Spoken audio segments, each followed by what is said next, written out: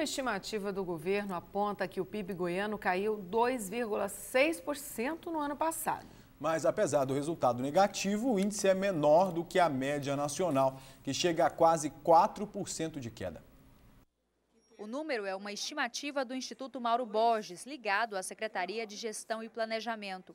O que mais pesou no cálculo do PIB do ano passado foi o quarto trimestre, quando foi registrada queda de 6,6% na comparação com o mesmo trimestre de 2014. Todos os setores produtivos do estado tiveram desempenho negativo em 2015.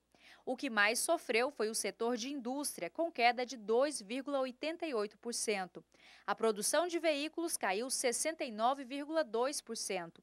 Apenas as indústrias metalúrgica, de etanol e alimentos tiveram crescimento alimentícia ela representa 36% da nossa indústria de transformação e ela conseguiu fechar 2015 ainda com uma taxa positiva, uma taxa positiva de 0,9, mas é uma taxa positiva. Ao contrário de outros estados, o PIB do setor agropecuário em Goiás teve variação negativa em 2015, resultado da queda na produção de soja.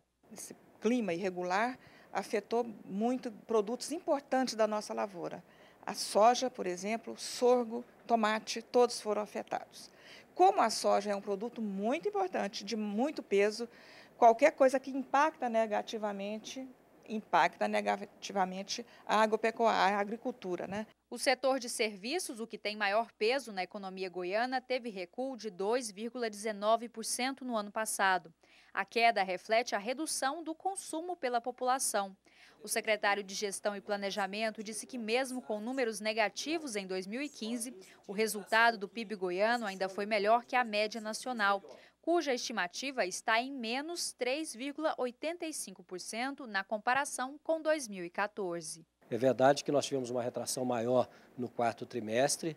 É, esta retração impactou o resultado final do ano de 2015 mas demonstra também, como se vinha tendo as medições nos trimestres iniciais do ano, que a economia goiana, que o PIB goiano é, caiu menos do que a média nacional e menos do que os estados que divulgam seus dados trimestralmente, como faz o estado de Goiás.